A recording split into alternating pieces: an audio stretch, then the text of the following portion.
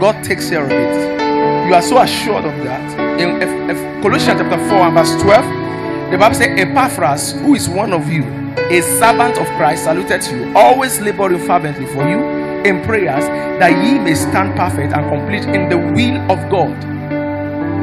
God is looking for intercessors. The church is called to be to intercede. Personally, you must have an intercessory life for you to have a supernatural life. If you don't have an intercessory life, you can't have a supernatural life. This is the truth that is hidden behind the altar. Amen. This is the truth that makes a man of God.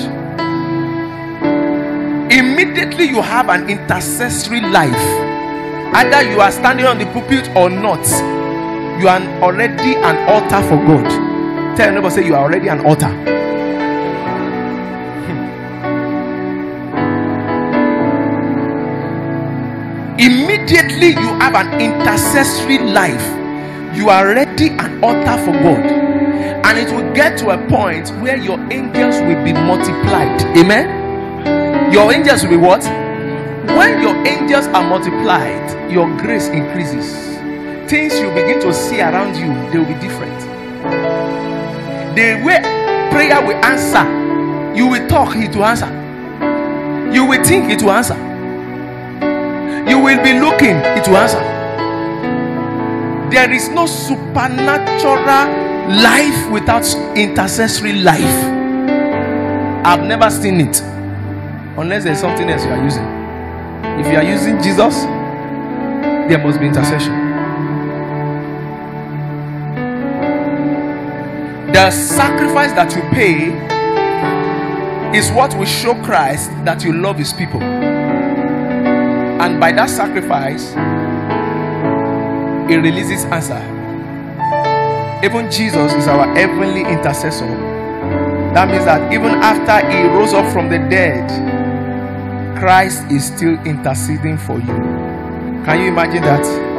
Can you give your hand to Jesus? In Romans chapter 8 and verse 34, the Bible says, Who is he that condemneth? It is Christ that died. Yea, rather, that is risen again, who is even at the right hand of God, who also maketh intercession for us, who continues to knock, knock, to knock the Father's heart for us. It makes your Christianity authentic and not synthetic. The, uh, we have too many synthetic Christianity today. Synthetic because there is no reality.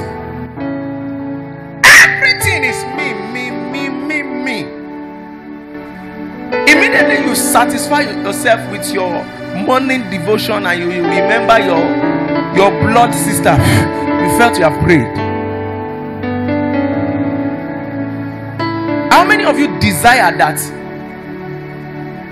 you don't have to pray before things happen in your life? Amen.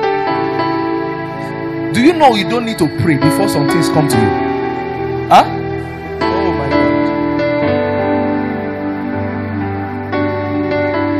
Don't need to pray before your change come. You don't need to pray. Oh God, you break this thing, break. No.